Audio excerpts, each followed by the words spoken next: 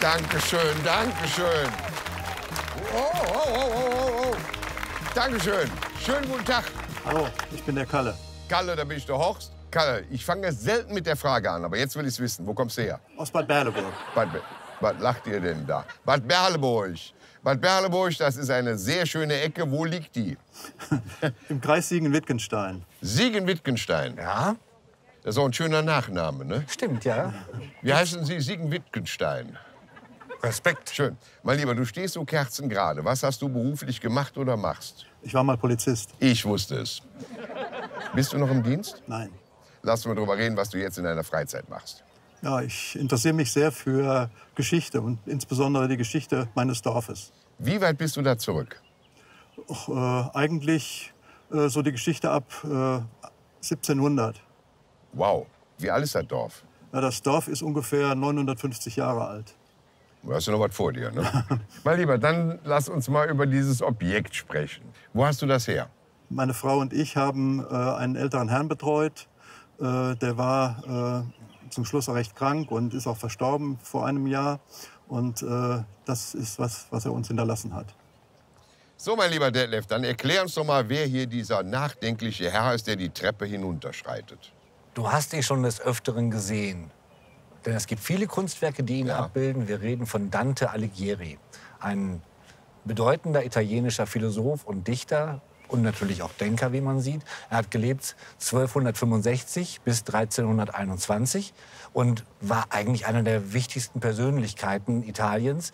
Denn man darf nicht vergessen, selbst bis in die heutige Zeit kennt man ihn in Abbildungen. Denn zum Beispiel auf der 2-Euro-Münze in Italien ist er nach wie vor noch abgebildet.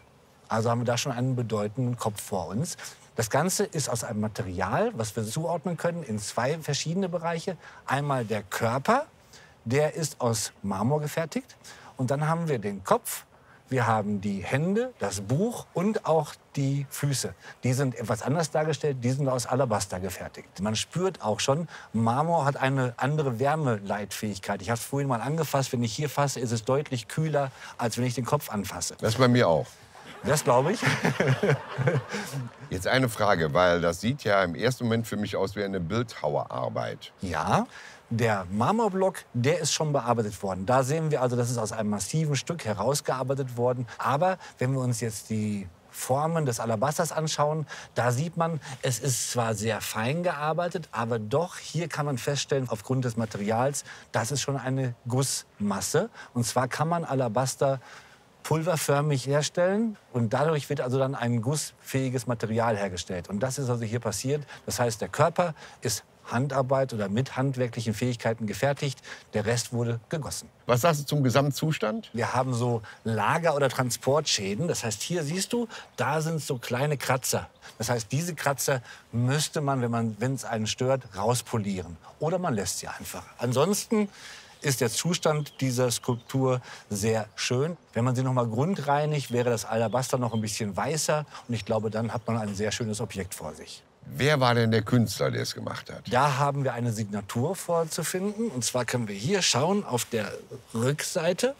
Hier steht Pucci. Ja? Und zwar handelt es sich hier um Guglielmo Pucci, einen Künstler, der ca. 1850 geboren ist. Man kann es nicht genau sagen bei ihm, aber er ist 1915 verstorben. Also wir können schon mal zumindest darauf schließen, dass die Arbeit vor 1915 ausgeführt wurde. Pucci hatte ein eigenes Atelier und hat dort hauptsächlich Arbeiten hergestellt. Entweder hat er antike Motive schon rekonstruiert, aber er hat auch Aufträge der Zeitgenossen. Zum Beispiel hat er Umberto I., also den König, hat er damals dann als Büste dargestellt im Auftrag seiner Heimatstadt. Und dann hat er sich natürlich auch mythologischen oder literarischen Motiven bedient, in diesem Falle eines ganz bekannten Namens, nämlich Dante. So, äh, was möchtest du denn gerne haben für den Dante? Ja, ich hatte mir vorgestellt, 300 Euro sollte er bringen. 300 Euro. Wie steht Detlef zu Dantes Marktwert? Ich wäre hier bei 1.800 bis 2.200 Euro.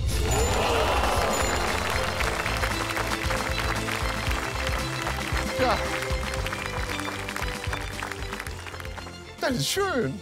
Bis hierhin hat mir die Veranstaltung gut gefallen. Ja, mein Lieber, ich muss sagen, was meinst du, was da gleich noch schön wird? Wenn du im Schloss vor diesen sensationellen Händlerinnen und Händlern stehst und feilschen darfst. Danke, dass du da warst. viel Erfolg. Hat Da Spaß geht's gemacht. rüber. Dankeschön. Tschüsschen. Dante Alighieri. Das sind verschiedene Steinarten. Das ist Marmor, grau geedert, schön. Und hier oben ist es Alabaster, ne? also abgesetzt. Ich glaube, das andere ist auch Alabaster. Also so leicht wie du sie bewegst, scheint es Alabaster zu sein. Die hatten Gewicht. Die hatten ein Gewicht. Hast du so die wiegt. Arme? Also die, Aber ich bin ist so stark. trainiert. Stolze 18 Kilo bringt Kalles Dantes Skulptur auf die Waage. Ob auch die Gebote schwer ins Gewicht fallen? Schönen guten Tag. Schönen guten Tag. Hallo. Hallo, willkommen. Hallo. Sind Sie aus Italien vielleicht? Nein, aber ich glaube, meine Skulptur ist aus Italien. Si, si, si, si. Dante Alighieri ist sehr bekannt. Er hat gelebt vor, ich glaube, 700 Jahren oder wann. Der hat auch die göttliche Komödie geschrieben. Das hat sogar Salvador Dali hat sich da dran gelehnt und hat auch Serien gemacht aus der göttlichen Komödie. Viele, Also es viele. taucht immer wieder auf. Ja. Ja, viele. Weltliteratur. ja. Und wir haben natürlich die Materialien auch untersucht und es ist auf jeden Fall Alabaster dabei. Ja. Und Alabaster. Und Marmor. Marmor, ne? Ja, ja. Ja. Ich starte mit 800 Euro. 1000. 1100. 1000. 1200 bei mir. Oh, Ladies first. 1300. 1400. 1500. Ich mach 1700. Das ist nicht schlecht. Ich glaube, ich gehe da auch nicht mehr drüber. 1750. 1800 Euro. 1850. 1900. Zwei. Fragezeichen, Punkt. Zwei. Zwei was? Zwei, null, null, null. 2000. Jetzt habe ich verstanden. Gut. Danke, lieber. Hat ein bisschen gedauert, ne? Super. Ja. Starkes Ich weiß. Gebot. Ja. Ich bin auch der Meinung, dass es so eine Skulptur ist, da gibt es auch viele Interessenten für. Also die kann man gut verkaufen. Hast du recht. 2100. Ich habe gedacht, ich krieg's für zwei. Sowas verkauft man nach Florenz. Ja, zum Und Beispiel. macht dann direkt noch einen kleinen Urlaub. Genau. Beim Ausliefern. 2200. 2300. Die Maximalschätzung ist damit übertroffen. Ich liebe die göttliche Komödie. Ja, gleich wird's auch persönlich. Es ist schon eine göttliche Komödie, das ist schon klar. Wir hätten noch die. Das hier ist auch eine göttliche Komödie. Nee, ich dachte, also ich dachte 2-2 fand ich jetzt fair von mir. Ähm, 2-3, bitte, Wolfgang. Ich bin da nicht mehr dabei. Wird das ein Geschäft mit unserem Wolfgang? Gerne. Also, Prima. Gut. Das freut mich. 1, 2, 3, 4, 5, 6, 7, 8, 9, 10. Und noch einen grünen dazu.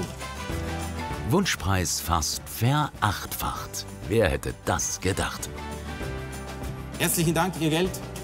Einen Dichter gekauft. Ich danke auch. Auf Wiedersehen. Vielen Dank für Ihren Besuch. Wiedersehen. Tschüss. Auf Wiedersehen. Danke. Tschüss.